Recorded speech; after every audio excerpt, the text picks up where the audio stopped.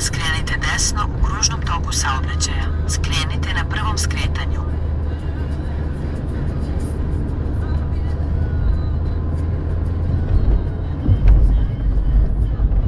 Nakon 100 metara skrenite desno u kružnom toku saobraćaja. Skrenite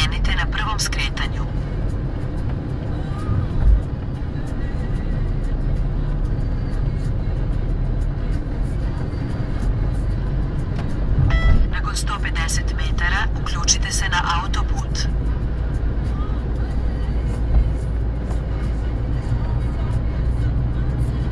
Uđite na autoput.